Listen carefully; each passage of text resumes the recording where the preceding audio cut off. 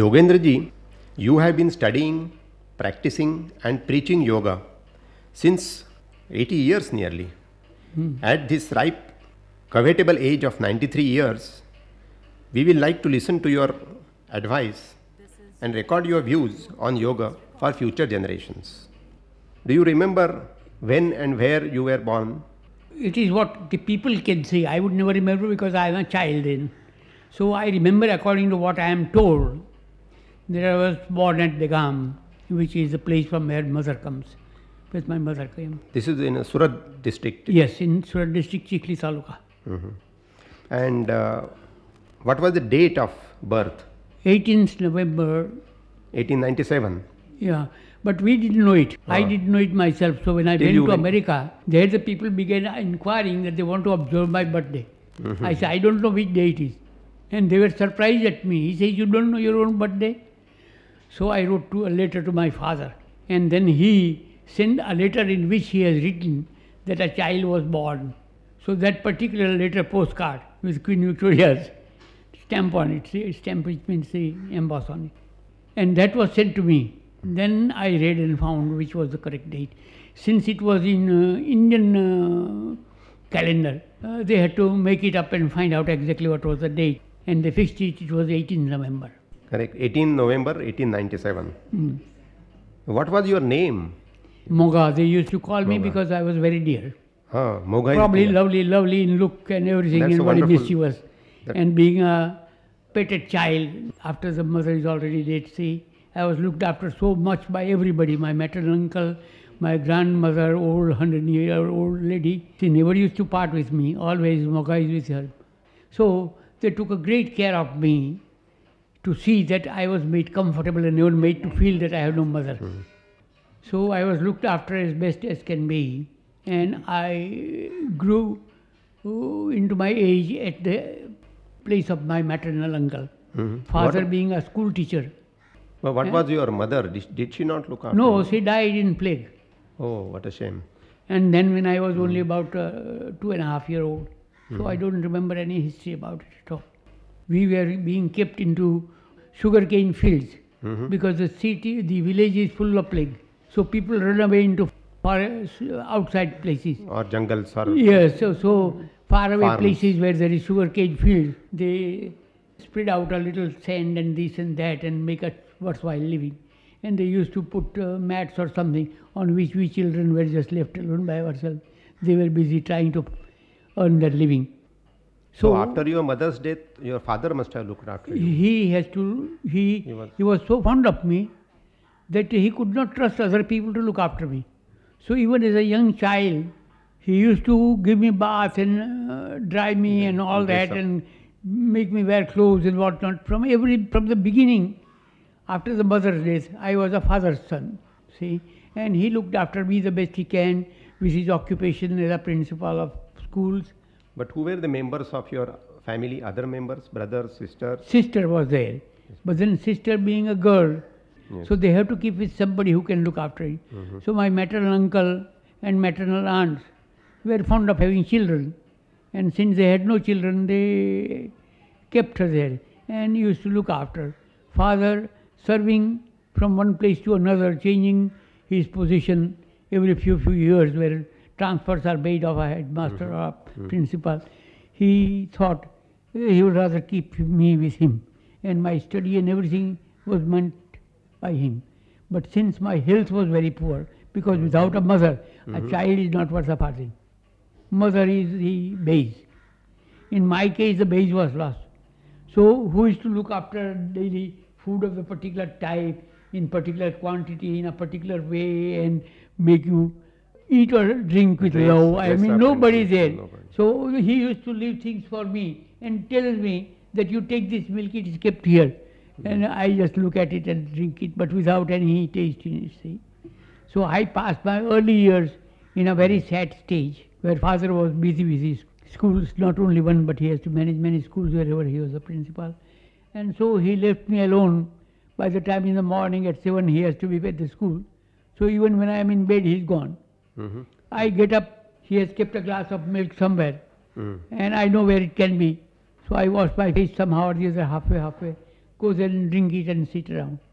Nobody to look after, nobody to talk to. See, but being the only child, uh, male child in the family, he must be expecting uh, a lot from you. what Certainly was he he, did, he expecting you to become?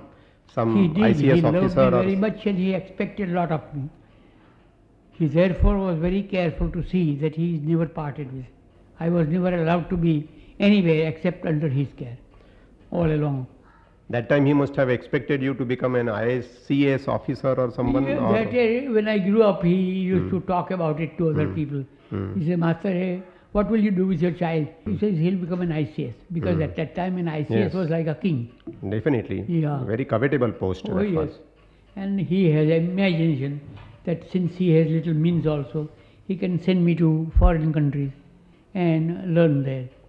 So he took all care to prepare me for a very useful and uh, creditable life. But uh, did this uh, shifting from one place to another or mother not being there, did, did it develop a general detached attitude in your mind? Disinterestedness. That was what was born because of that. I never made any friends. I never loved anybody. Hmm. So I was without anyone whom I can say I was intimate with. But you loved the society all right. I, I like the people. I play there, enjoy with them. They uh, humor me, and they did everything because of the principal, the father being a big man. Hmm. According to a village, the Yes, definitely. headmaster is a big fellow, say for many villages around. So they used to look after me very well. And uh, I was fortunate that uh, because of his being in a particular position and I being without a mother, the ladies of the villages of that time were such an unselfish type of people. They will come every now and then and inquire, Maga, you want anything? This is milk I have brought for you. It's from my own cow. Mhm. Just fresh, warm. And they will try to give me a little to sip. See? So they looked after me the best I can. So this unselfishness also uh, has been instilled in you by your father or by the Yeah, uh, yeah. friends in the villages. Yeah. Liberality of mind, looking at everybody as like one's own self, not separated by some brother, sister, or somebody. Everybody was brother, everybody was sister.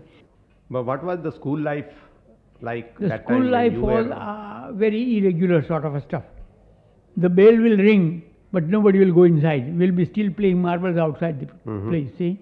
And when the too much of howling is done by the teacher, that I'll beat you up if you don't come and something like that, we know now he's angry, so we get in. And then we sit down. And then the teacher doesn't take any action. He never, I don't think I have seen uh, beating of children, no, not in our school, no. But uh, they were very strict.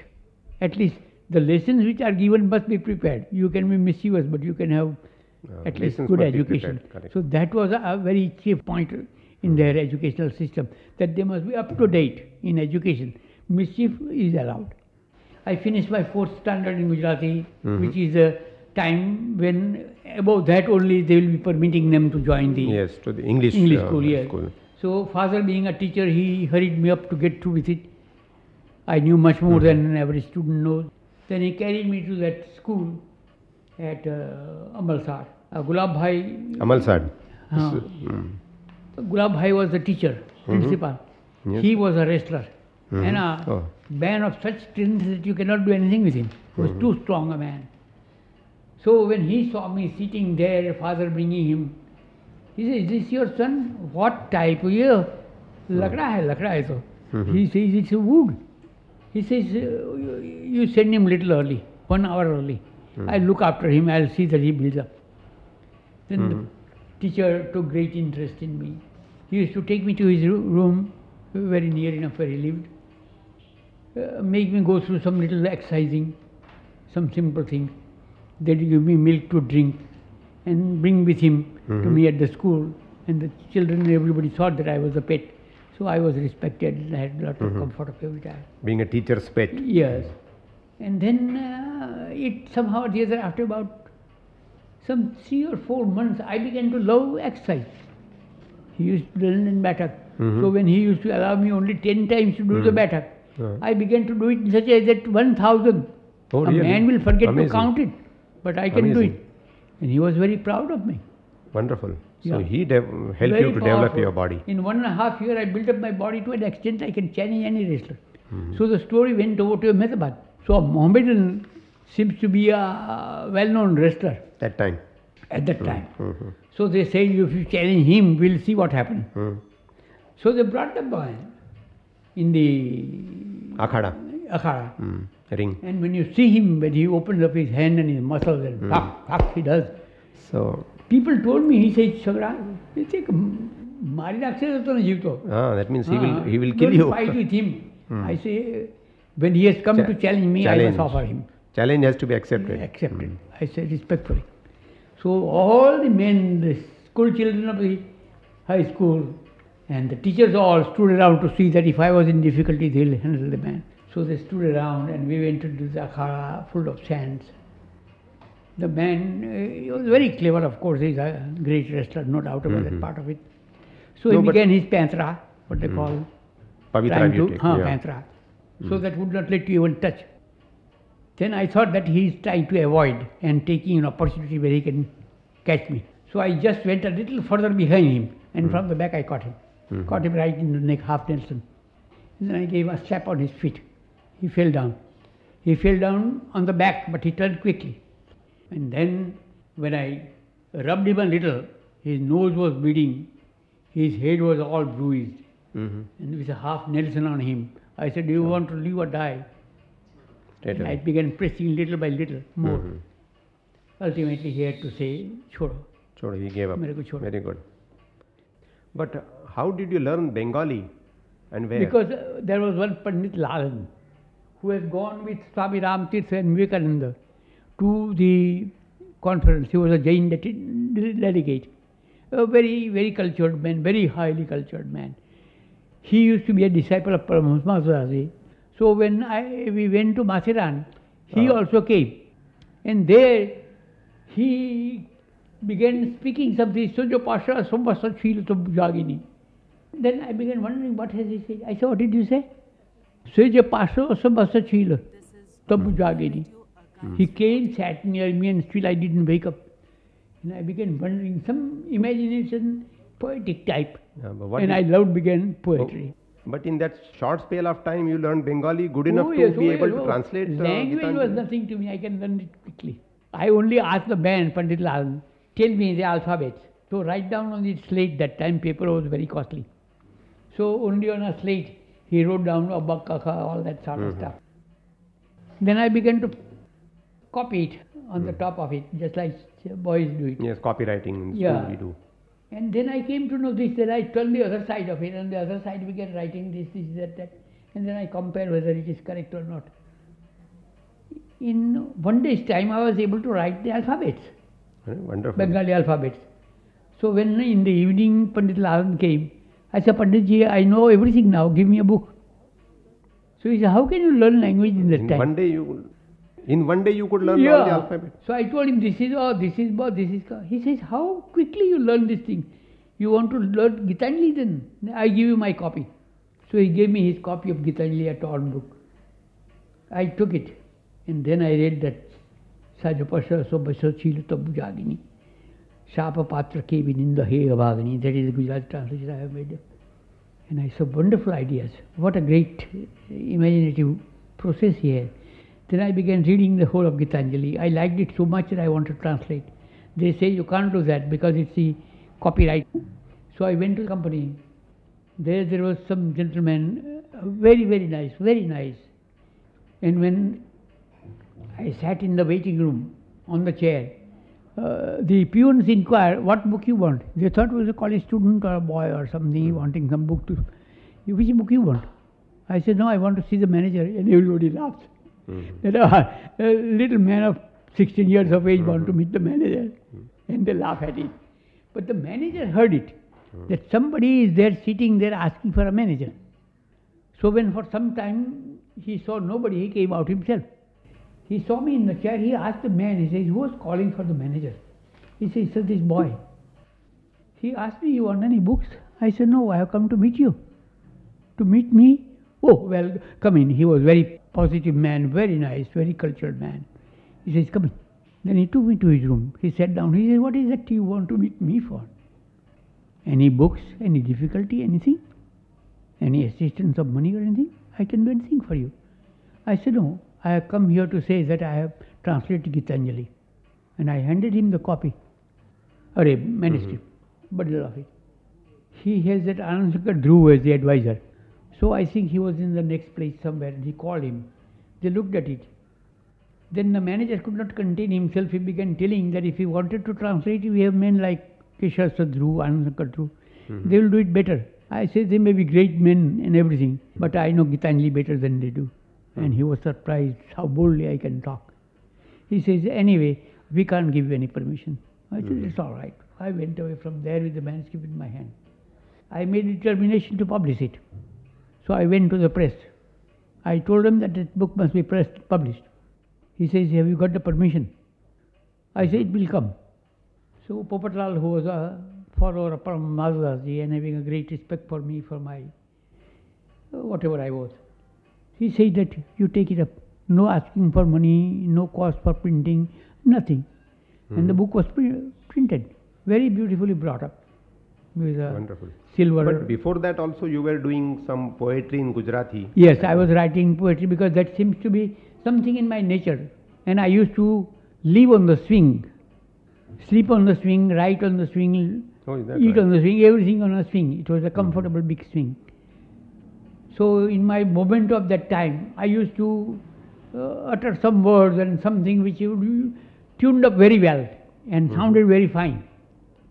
See? It was all natural. I mean, you Uh, did not take any special No, no, no. I didn't think that I was composing anything, but it came like a composition. And uh, first publication, somehow or the other, the people felt surprised at it. That was at Hriday Puspanjali.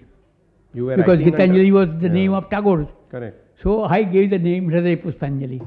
Hridaya Pushpanjali. Hmm. that was the first uh, poetic hmm. translation, hmm. poetic work.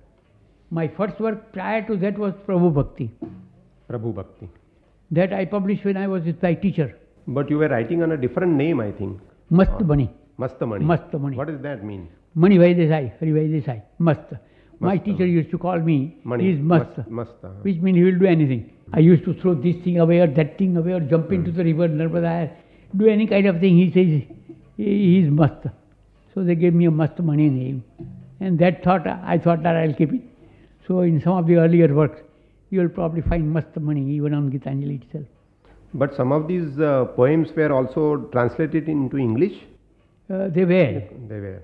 they were. Subs- And uh, they were published in some papers in Madras and in Calcutta. You mentioned a few minutes back about meeting your guru, Sri Paramahamsa Madhav Das ji. Could you tell me how this happened? I thought you were studying that time in Yes, I was studying at St. Xavier's College. in Bombay. Yes. Mhm. And then the companion to me was Ambalal, was Ambalal. a student at one higher level. I was in the previous, he was in the inter. All India Radio. So he used to come and talk about many things. One day he began talking about Paramahamsa Madhavdasji. And he began talking so much because Paramahamsa was coming to Bombay after 15 years. And people were anxious, his bhaktas who go to Malsar for uh, Varanapur or Malsar, one of his great temples there. So one day he was shouting loud, Paramahamsa is coming, Paramahamsa. I said, what is this you are shouting about? He says, a great man is coming. I said, what's great man? A sadhu. I said, sadhu is loafers. And he didn't like that word to be heard. He said, don't say like that. You don't know him. All are not the same. This man is something quite different. So when he came to Bombay at the time when I was at St. Xavier's, so we both came at about 7 o'clock. What happened wonderfully enough is that by the time I climbed the steps, he was sitting among the audience uh, on a big dais. But then, sitting near him, watching him, seeing him talk, and the atmosphere and the vibrations that are created around, it gave me the feeling that he is not an average. Some kind is of something much more than that. Superman like type. And I must know more about it. So Paramahansa told me to go to my college again in my hostel at St. Xavier's. I refused to go there. I said, I come with you. Is that right? And he was very much surprised. Mhm. Since it became his responsibility for caring for me, he took me to the place where he lives. And the room which he occupied, which was considered very uh, precious, Precious, auspicious or something. uh, unauspicious, he asked me to make my bed uh, round about and then sleep there. Hmm. But he immediately sent a telegram to my father to say that your son has left his college Hmm. and is staying with me. I have kept him at Madhavbag with me. So, what was your father's reaction when you told him that you was Immediately he received the telegram there. He must have got a shock. Yes, it was a shock to him, but he was a man of a very great patience and endurance. He has seen many things, worse things than probably many have seen. And he didn't mind it, he just simply took up his uh, clothes and uh, come to Bombay. Mhm. When he came to Madhavbag, he put down his bag. Bag means a bundle, Bundle. putli. And he saw me sitting there, and Paramahansa sitting before me. He was surprised at my uh, indifference as a father, that I don't know him even. But when he became a bit distressed, and I can see on his face that he is very unhappy, I spoke out and said, Father, your have come is good. I am going with him is certain. And he knew that when I say it, it means, means done. There's no use trying to prevent me. But be sure enough that you expect from me some things. I will do all that you expect of me. I'll marry. Hmm. I'll have children. Yes, that must be I- his I'll look after you. worry. And uh, don't worry about anything. As long as you are alive, I would not leave you. Uh, he must have been worried because uh, if you become a sannyasi, then Yeah, there is then he nobody, has to look look after at all. I mean, and do the rituals and ceremonials and traditional things in the. all that and his love for me, he could not bear it. So I told him that, and he knew that when I make a promise of any nature or say anything, it means 100% truth and not one minute less. So he said, "Damn, you have said this, I go back again. So he went back again to Balsar. But then after three days, I told to my teacher that I'd like to go to my father. He says, You can, you are free. But then, what was the reaction of your principals in St. Xavier's College, teachers? I never met them and never bothered with them. But it seems to me that Father Kudier came as soon as he knew that I have left and will not return. Mm. and inquire as to what must be the thing. See, and uh, they told me, they, told him that he has gone to some sadhu. Then he asked, where is he? He says, Madhavbag. So he came himself. Oh, is that right? Ah, Father Goodyear came. He says, uh, what do you want to do with this boy? He hmm. belongs to our school. We are hmm. responsible to his guardians. Yes. So you give the child to us, boy hmm. to us. Eh, we will hand him over to his father. He says it is free for him to go if he wants to. Acha, so, So it was left to me as to what to decide. so you, I you were- refused to go anywhere except to stay with Palavansi. Then the only alternative was to allow my father to know where I am in Bombay. So a telegram was sent to him to say that I have left college and I am with Paramahansa this Madhavbag. He immediately took a train, came to Madhavbag. He saw me with the teacher sitting. And of course the sorrow was enormous. I also felt. But I decided that the knowledge which this man has, which is hmm. much more than the average man, I must have that knowledge by some means or the other. so you had made up your mind. Yeah. So the schools and colleges cannot give you that knowledge, and that knowledge I must have. So I decided to join him, because unless you become the disciple, they don't give such knowledge. What is the meaning of becoming a disciple? What Which do they make you do? don't Give away everything. Mm-hmm. Nothing belongs to you. You and your teacher, Guru, Guru Shishya only. What the teacher provides you, you take. So if food, whatever he gives, I take. I don't No, but subsequently he allowed you to marry and uh, have a family of your own. That I told him that I am I'm not under your control. Mm. That I made it very clear when he So- tried to offer to me his command Mm. He says, This is kept for you. Mm. It's magic.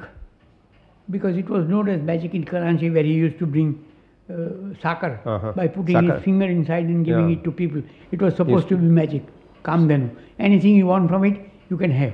So he says that this precious thing I am giving to you. I so I refused to take it. And he Sure. was shocked. I think we need it in this country very He's much shocked that because Kamandalu. no disciple will refuse a teacher's Because- offer of being a teacher. See, with uh, so much of property, so many followers, with so much of reputation and everything, I said no. But I knew very much at that time that he is hurt. So immediately, after one hour, the next train that passed from Malsar, Well, I took the train with my little baggage and walked away. Never returned back to Malsar again. Never returned to Malsar again. Once I went to Once, so yeah. Sitadevi. I think you came, you did not? Yeah. She wanted to see what that Balsar is like. And I went with her to show which room I lived in, Mhm. What type Um. of place it is, what kind of people they are, and all that sort of stuff. The Narmada river flowing near enough. Yogendra ji, Hmm. in the early days, people used to get their children married in childhood. Yes. I hope you didn't have to face Yes, that I problem. did marry in childhood. I was married when I was only six year old. Really? Yeah. But uh, you mean regular uh, ceremony, etc., was there? Everything was done. They say it was done. Uh-huh. But when uh, time But- came, uh, when uh, after my marriage, a case was uh, instituted to ask for uh, maintenance. Oh, but even if you were so-called married, say at the age of six, till you grow up to a full-fledged uh, man, I don't think the girl is brought uh, to the. No, I never allowed her to come because I told father that if she comes here, I am gone. So she was too afraid. He was too afraid to call her. And if everybody's pursuance, it didn't mean anything to him. And to me, I called her sister, and that was all over with, with me. But it was a time which was very hard time for my father. Mhm. But the marriage was done when I was only six years. I didn't do it. So when the maintenance has to be given, is filed a case in the court for asking for maintenance. The judge asked me. He say, "Is this lady your wife?" I said, "I don't know her." And the judge stopped asking questions. He says, "I can't go further. When a man doesn't know who is she, Mm. How can I proceed with this?" He threw out the papers. He says, "Do what you like. I can't proceed with this case." Then the vakil of that order uh, understood that it was better to have some sort of understanding mutual rather than a court case. When a man refuses to say, you have to prove Yes, that this was the man who married me, this was the place where I married, and who will bother with all that thing? See? It will be a tremendous Correct. job. So they agreed that they withdraw the case for maintenance. And then, with a roundabout way, they came to say that she has to leave and something must be given to her, or either call her, either of the two things. Could you tell us some more stories about bouts and your physical strength? Wrestling, after I had one bout with a man, That Arjun Oh. Bhim you had told. Arjun Bhim, yes. Yeah, after that. And after that, Hmm. when they reported to me that he is sick Mm. and having high fever and not able to speak, his throat has swollen and his Hmm. face has become black. It may be because of my half medicine which I took on him. Mhm. So then I decided that it's not a good thing to hurt people and ruin their future. So I decided from that day not to have a wrestling bout. And that And I gave my power and strength could be utilized for Yeah, better for some other good purposes. And you were also helping the villagers. Yes, do I used to go into the fields when I am walking, and if I find them digging the earth in the sugarcane fields or other places, I'll go and do the work myself. They were very glad because I can do it quickly also and do it better also. So I used to be helpful to people if there is water to be pulled out of the well and the ladies were finding it very difficult because the wells were nearly 30 to 40 feet deep. I used to just simply take it out. What is the story we hear of uh, you are lifting a full loaded bullock cart for repairs? That was a, I was going in for a walk for my wrestling. And on the road, right opposite this way and then that way, a crossway. There was a cart that was lying there which everybody was trying to simply help to see that the axle was put back. Another new one was put. But there was nobody to help them to lift so they can do their job. And I told them that I'll do it.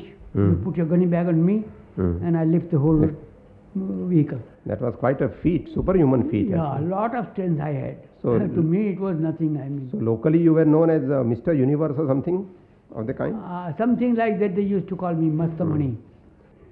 Was there any disillusionment with the college education? That uh, Well, the college education to me appeared to be so very dry and uh, meaningless, I Mhm. would say. So that while I sat there on the desk and heard the principal or the lecturers talking, I never cared to even take notes or anything. And it appeared to me that knowledge in the past in India didn't come through this kind of arrangement. They just sat on the floor, the teacher and the disciple, and they had great knowledge, and we are Mhm. studying them. So the knowledge doesn't come by this way, it comes by contemplation, thinking, concentration, some other method. So I was interested in knowing the method of receiving knowledge or getting knowledge without having to get to a college because that is a Western method. Let us investigate into our own Eastern system of educating or developing in uh, intellectual life. I think that is how you came in contact with uh, Paramahamsa Yes, that is how- through your friend Ammalal. Yes, Ammalal Sadanga. came in. He told me about some saint coming into this Hmm. city after 15 years, and they are collecting at Madhavbag, Mhm. and there is going to be a big demonstrations of this type, that type, and that type. So he asked me to accompany him. I was uh, very disinclined because I didn't know what this Mhm. type of sadhus are like. And naturally, as young boys of that age, see, we used to hate this kind of hermits Yes. and sadhus and all that. But uh, I said that all right, why should I not go and happy, make him Mm. happy because he'll be happy if I go with him. So I went with uh, Ambala. But he also used to cure people. Yes, I that was his the commonplace collector's thing. Yeah. wife all, was all suffering from some insane people, all that, they used to all come to him for saving their life. Some diseases which are incurable, he used to treat them. It's the prana. See, the Oh, power a- of prana within him. Part something with it, see. That was the greatest cure. Then when did you arrive at the Malsar ashram of all those Vaishnavites were there and what was the daily uh, routine? There bhajan, kirtan, tuk tuk, tak tak. And then khao pure. Too Mhm. much of good food because there was a lot of money with the Malsar. Simple. So many came in just simply to have a good life there. Mhm. even from the cities also, the good food that they can get Mm. are ready made without having to pay anything. Mhm. At the day when they leave, they leave 5 rupees, 10 rupees or something, some extent. Mhm. Walk away. But your guru was also helping the uh, local villagers for solving their problems of Yes, people who used to come from the villages saying that his son is suffering and he is not doing this and doing that.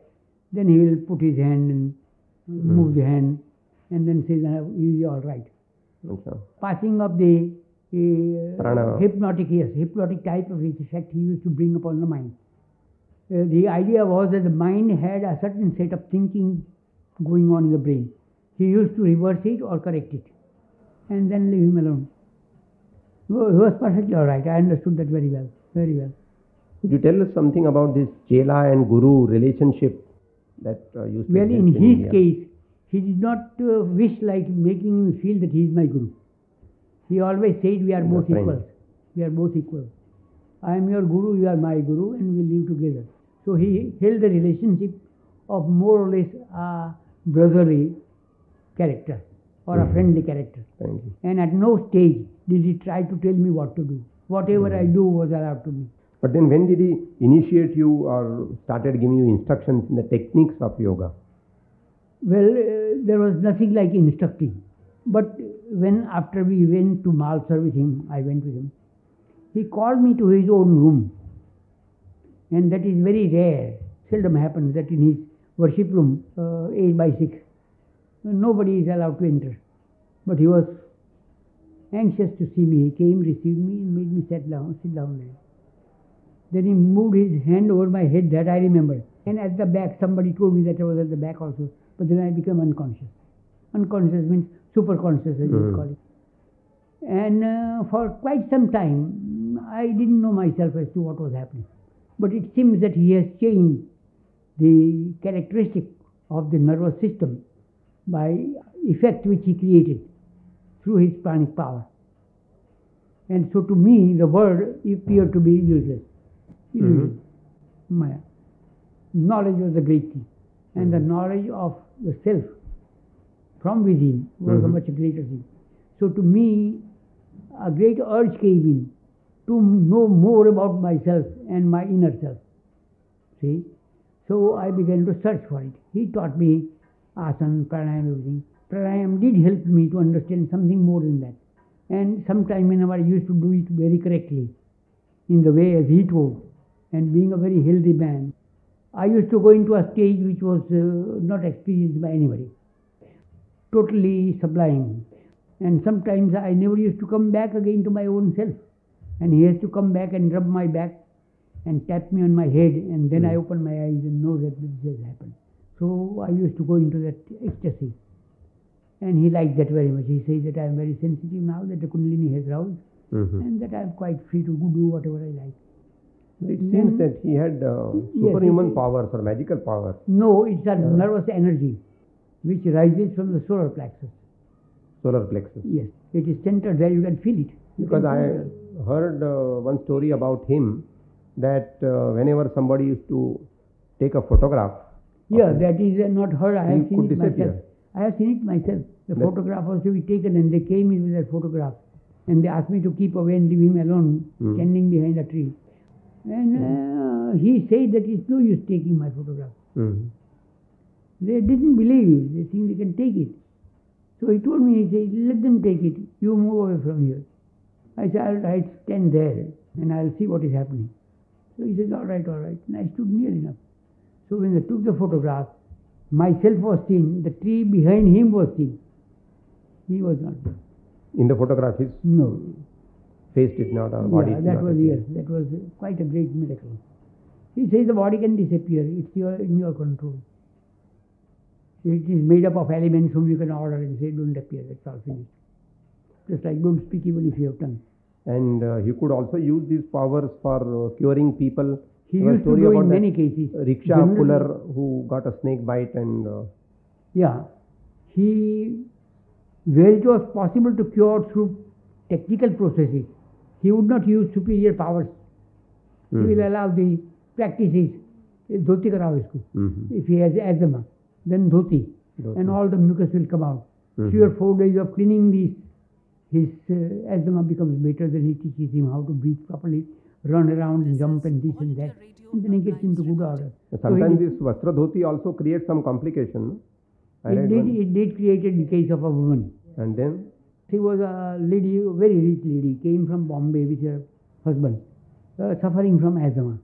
And having full faith in the teacher, they allowed her to do whatever he told. He put the, washed the dhoti and gave it to her and said, swallow it. She, poor thing, thought that uh, it can be swallowed, so like food. She began chewing it as it were, and then swallowed it. Quite a number of it went. Hmm. But then at the time of bringing out, it doesn't come out, it sticks got up. stuck. And when she tries to pull it, the whole neck as it were wants to come out. Oh my God, that must be terrible. It got choked up. So, Paramahansa was talking at a distance. I was there sitting on the platform. And uh, so when they came crying and shouting, uh, he called me. He says, Come here. I went there. He says, Look after this woman. He has got this thing. So he wanted to test me whether, after Mm. learning these practices, am Mm. I capable of looking after the difficulties that may arise? Yes. Or would I need a teacher to tell what to do? Very clever people they are. So I watched that lady for a little while. And then I asked for a glass of water. Glass of water. Yeah, hot water. As soon as I brought it, I told her, sip it. So sip in the mouth and just a little. When the water reached her throat a little lower, it loosened. Then I told her to it out slowly. It did hurt her, hurt her a little, but she was able to get it out. Paramahansa thought that I am a very, very clever yogi. Hmm. he gave me, he gave me great honor. Now, at the same time, your literary career also flowered, and you were uh, writing under the name of Prabhu Bhakti at No. Prabhu Bhakti was the book's name, and my name Name? was Mastamani. And even my books also, I think I have written the name Mastamani on the book. Mastamani, yes. Mm. Do you remember the names of some of these books which you had written at, Yeah. at young age? First thing I wrote was Prabhu Bhakti because I was Yeah, a devotional man and I wrote about devotion. And Prabhu and Bhakti, I divided that. Means love and faith in. Love and faith is Bhakti. See? So I had faith in truth. So my Prabhu was Satya. So the entire Prabhu Bhakti is written on the basis of Satya, truth.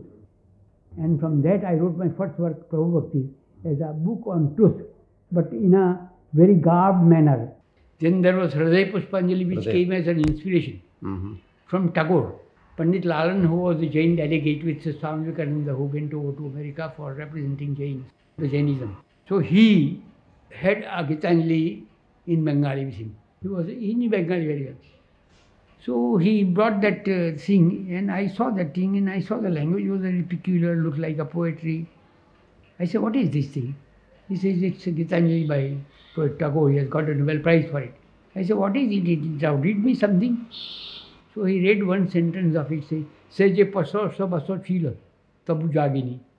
What does that mean? I can't make out. Yeah, a Bengali. Mhm. He said, paso sabaso chila. He came near me and sat down. And how unfortunate woman that I am that I didn't even wake up. It inspired me terribly. It was something very very, great. I said, beautiful. Then I said, I can write something like that also. So I began composing my own things. And the first collection of such kind of writing was this Hriday Puspanjali which I composed in Matheran at that race course. So nine books you had uh, written that time? I, after that Hriday Puspanjali, Mhm. or a Prabhakti, I thought I write poetry. So that uh, stanzas and broken up uh, passage, line of a poem, that uh, I got up from Tagore. Mhm. And I used to uh, compose with uh, that. But this is the time about which you thought of uh, your institute, isn't it? People only thought that I have some magical power. In that I and you know were yoga. curing people. Yeah, some by even touching hand. but there was some story of police inspector who. Yes, was that was there also. That was there also. He's, he was a very wild, terri- terrible man and was uh, feared by everybody. He got ill and had his neck swollen. So, His face became red and circulation was about to stop and die. That time, they called his you. wife and others begged of people to call me because I am a magic man, chick man, God's man, I can save him. So they think it was funny that I should be called. I was a young man Yeah. of about 18 years. What can I do for them? Mm. But they came at night, the policemen, with the fozar. And uh, they say that, sir, you have to come. It was night about 11 o'clock or so. I said, what is wrong? Well, he is not able to speak. Mm. And his breathing is getting stopped. His face has swollen. And his neck is swelling also. And I believe that he might probably, we believe that he might stop breathing. Uh, symptoms please look- come, hurry up. Symptoms look like that of diphtheria, I think. He might have been suffering. It may be what? I think he had drank before that. Strong alcohol. Mm. And uh, might be a little effect Yes. of that, of uh, suffered that. But when I came there, it was at night, middle night nearly. They were all waiting me. I told them to put my chair opposite to his face when he was lying on the bed. I saw that he was quite unconscious. Mm. His face was red. There was no hope for it. The doctors gave up hope that the pulse will stop any minute now. I said, You move out. Don't trouble him or don't touch him. I went there. I saw him.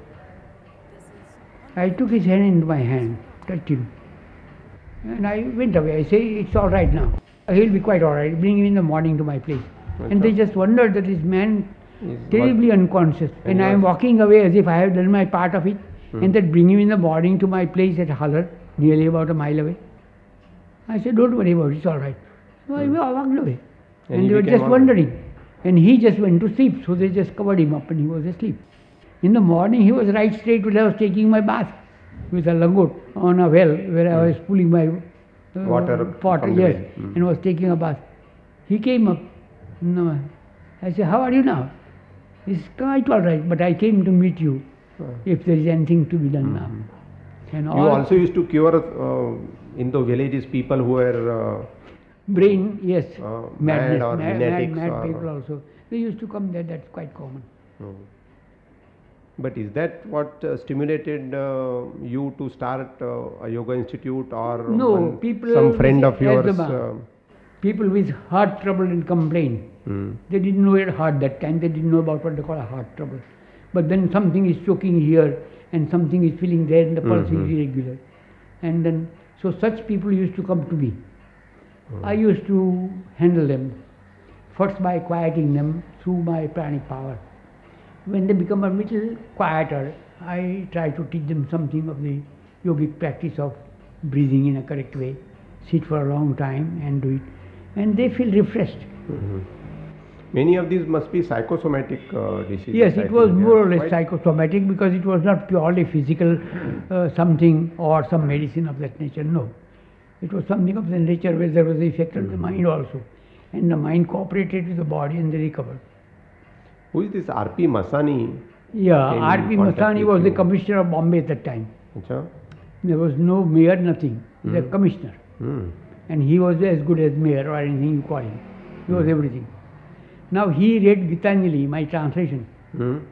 And he wondered that a man like Tagore has written a book and for which he was given the Nobel Prize. A translation in Gujarati, somebody has done, I must honor him.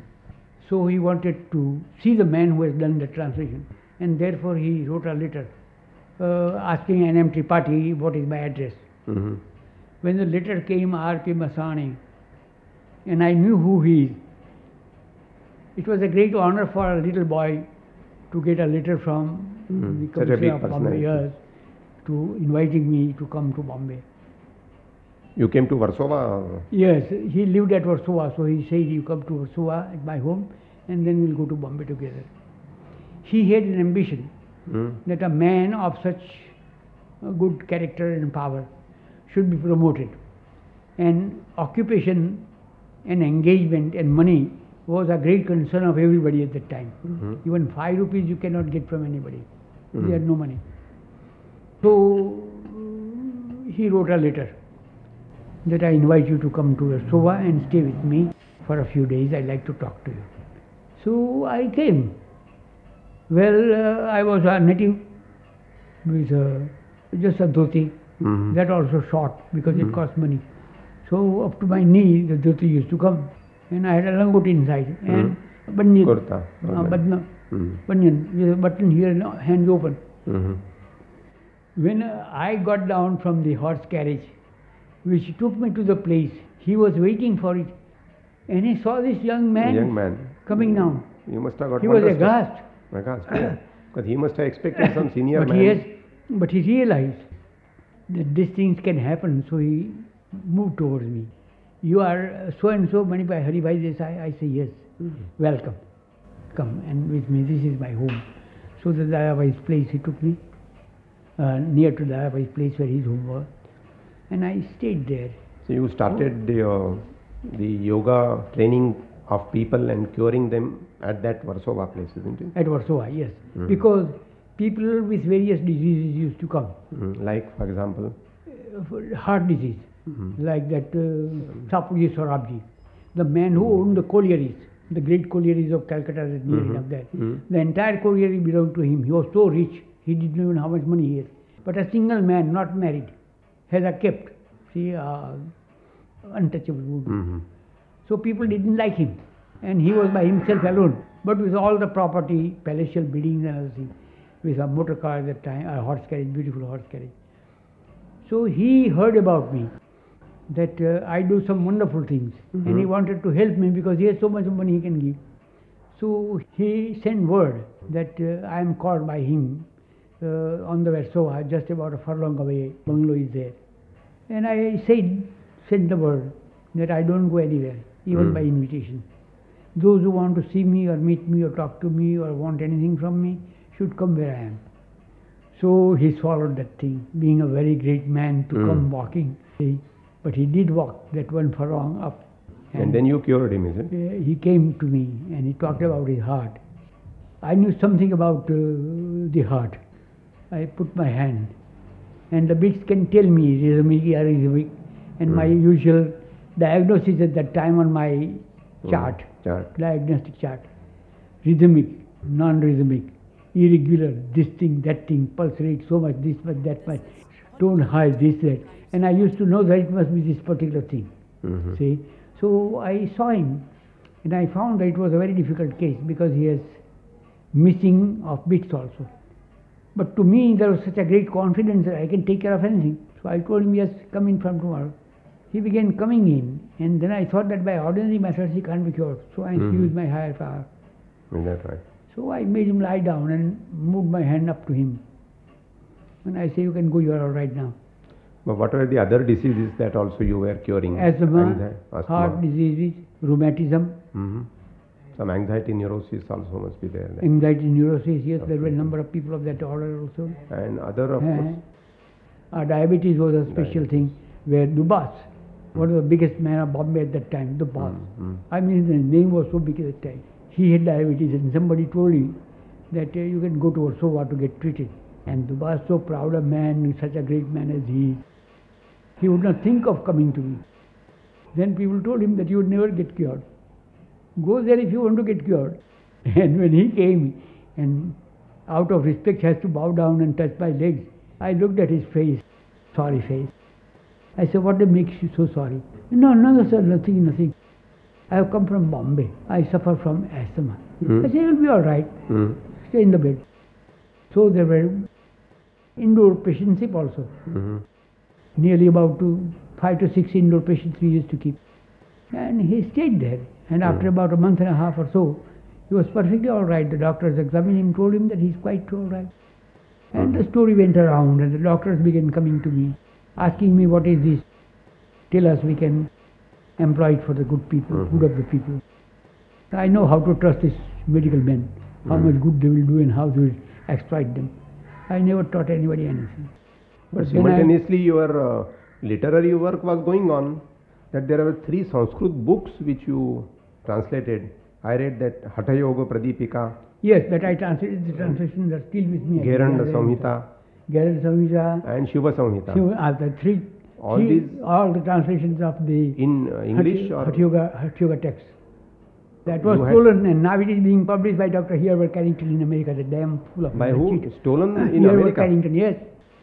Stolen which means he took duplicate. The damn fool's name came on the radio. Mhm. Dr. Herbert Carrington has published a book on yoga. I say, I know the damn chap, how he Mhm. got his book on yoga. No, but this was in India or this happened in America? America. How in did this America happen? because my book was given to Macmillan and Company and Dodd Mead and Company. When it was with them, they gave it to him as an authority to give an opinion whether to publish such a book or not. So he came to know all about it. He got it all copied. Who is this gentleman you mentioned? Dr. Hereward Carrington. Today he is considered as a great philosopher of America. Mhm.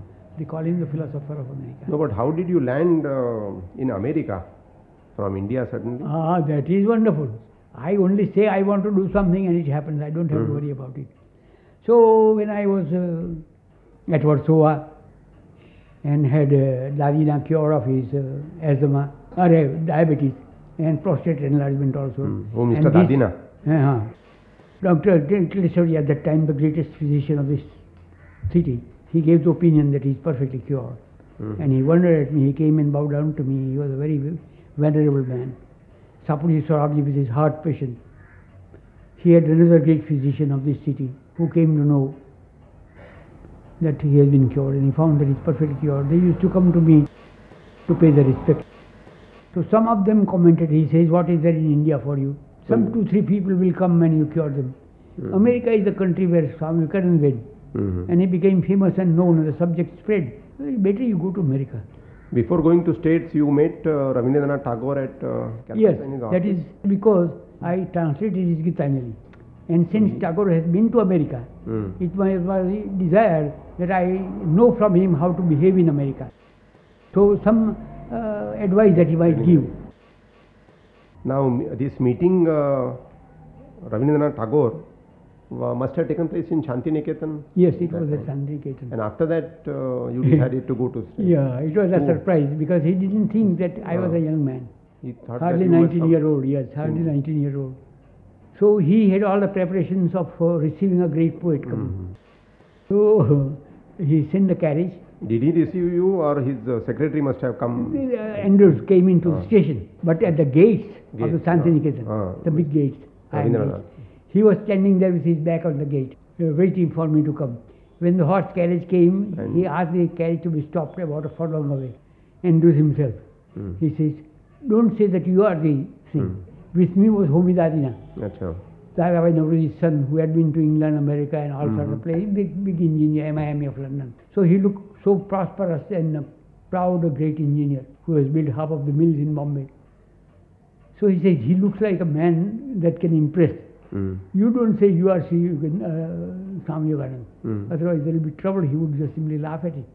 So what happened was when the carriage came, khat, khat, khat, khat, khat, because there were no roads, Hmm. uh, just a stone, uh, what we call a block cart uh, passages.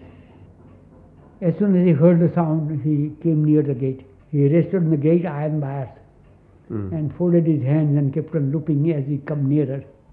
I began being ashamed myself Mm. that a man of his great dignity, Yes. Atago, should stand and wait for me there. The- when the carriage came, I told him to stop, not to go too far. Hmm. So about a furlong away where he could just see me at a distance. Hmm. We two were there. Hmm. And Dadina looked pompous man, Yes. having traveled America. England, America, everything, and how to behave in a man of great knowledge. Everybody thought that probably he is the man, Mm-hmm. and I am just a waiter for him. Mm. So I had my dhoti and my uh, kameez Mm. in a bundle. So I carried it and put it under my armpit. So he thought that he must be man coming in to help. So I walked behind, and Dadina went forward. So Tagore bowed at him. He moved away. Mm. He said He he says this. He points out his finger. Tagore became nonplussed. But naturally, you are See? so young, and how could then he he, believe? yes, then Andrews ran, and he wanted to make out who is who. And then Dadina told him, he is the man. Mm-hmm. And he was shocked. He couldn't understand. He was Mm. amazed. Then he came, he embraced me. My young poet. Mm. That is the word he used, young poet. Uh, the poet is waiting for you. Mm-hmm. I said, all right. We got out of the carriage. We went near there. There he was not told who is who. So he extended the hand uh, to that Dadina. Dadina took back his hands and he Mhm. wondered why he has taken back the hand. Mhm. He felt it as an insult. Then Dadina said that he just pointed his finger. Tagore was amazed. Yes, naturally. Yeah. But after uh, meeting Mr. Meeting, Tagore, he immediately took me into his Mhm. arms and he says, I cannot allow you to be here. You are a greater poet than me. Mhm. Come, my young friend. Mm. We go together in my own room. So his own writing place where all books around and a library. Without talking to anybody, he took me to the steps, Mm. went over to his room, a little dingy room, just of this size, about 10 by 10. Mm-hmm. And all the books around and his writing table. He has not even a good table also. Mhm. He is writing that particular type of table we used to have, top at the bottom and this slope. And then we sat down and talked about many things. When, unfortunately, proud as the young man always is, uh, one of his poem pieces I took up and said it would have been better if it was written this way. Says the jagini. I say you must have written Sapa Patra Kevininda. It is a shameful sleep, Sapa Patra. That word would have given a great dignity to the whole poem. Well, How you he become the great poet, he said. How did he take you? Oh, very nice. He was a loving man, see. So after his advice and meeting, then you decided to go to West. America, yes. I went there first to get his advice Yeah. as to what I should do and should not do in America.